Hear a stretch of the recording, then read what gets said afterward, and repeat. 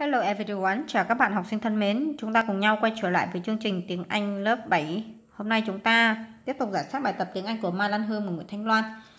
Mai Lan Hương và Nguyễn Thanh Loan.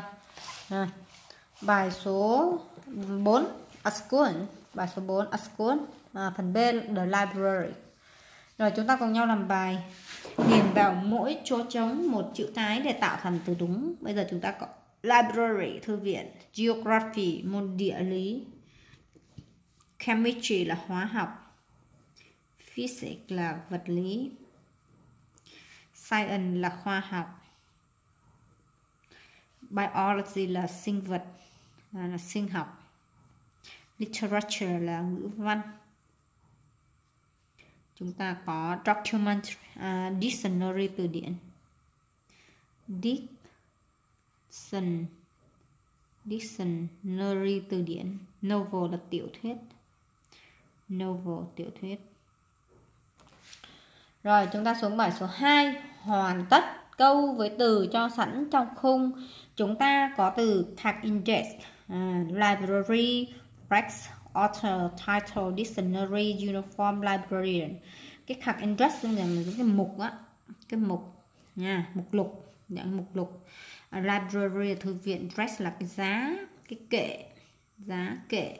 Author là tác giả uh, title là tựa đề tựa đề một quyển sách hay gì đó tên quyển sách. Uh, dictionary là từ điển uniform đồng phục librarian là người quản thủ thư viện. Rồi câu số 1 tôi giữ một quyển từ điển tiếng Anh bên cạnh mình.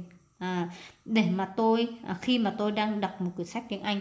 Ở đây chúng ta phải chọn từ từ điển dictionary. Câu số 2 Charles Dickens là tác giả à, yêu thích nhất của tôi uh, author.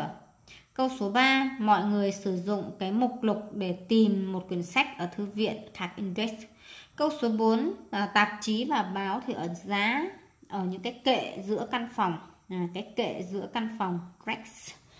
Rồi sang câu số 5, sang câu số 5, à, ờ, tựa đề của cuốn sách đó là gì? Đó là Oliver Twist, tức là tựa đề hay là tên nhá, à, title.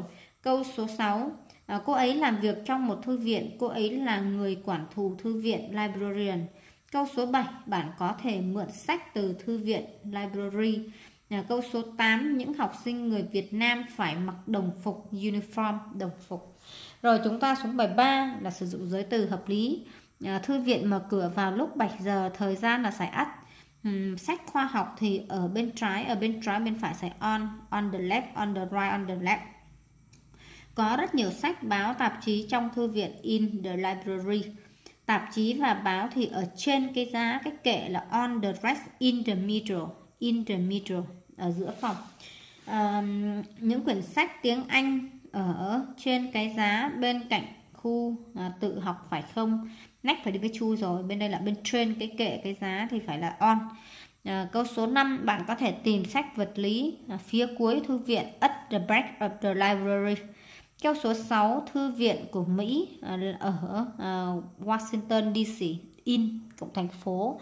Câu số 7 những quyển sách đó là bằng tiếng Anh in English. À, câu số 8 Washington DC là thủ đô của nước Mỹ của là sạch Earth. Rồi chúng ta sang bài nối.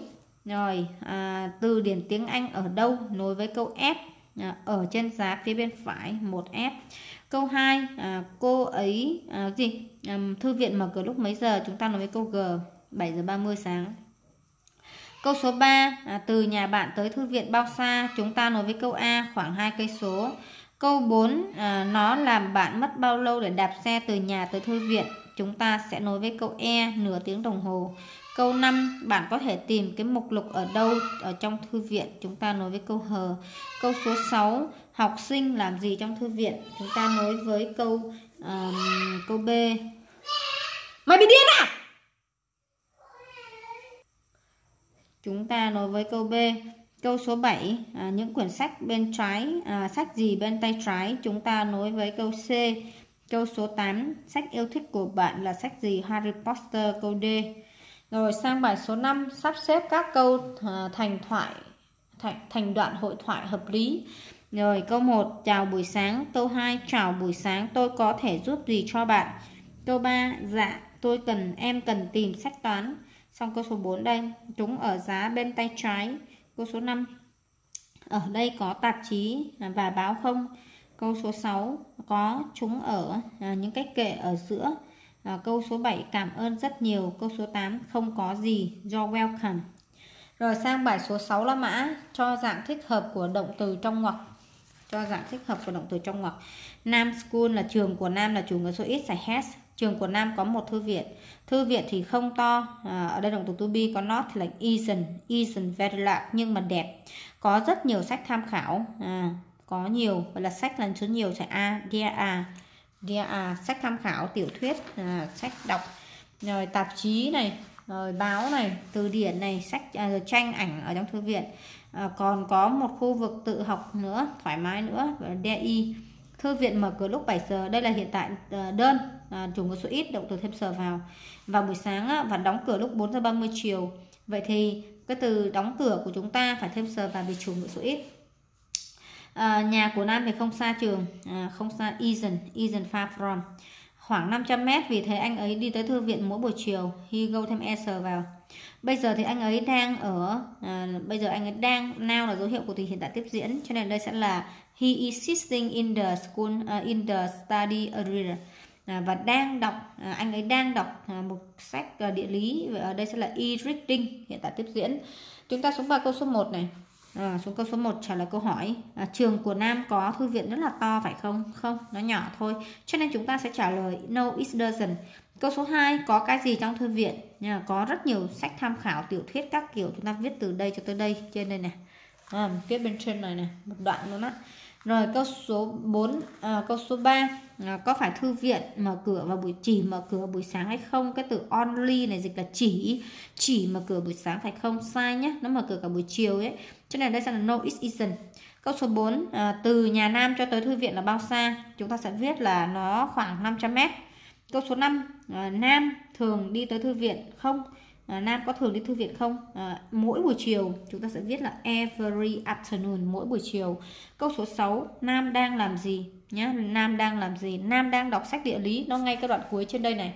Đấy cho nên chúng ta sẽ ghi là he is reading a geography book. He is reading a geography book rồi cái bài à, bài gì? À, bài B. À, cái bài tiếng Anh lớp 7 thường sách Mai Lan Hương bài số 4B à, trang trang bao nhiêu? Trang 29 trang 30 của chúng ta.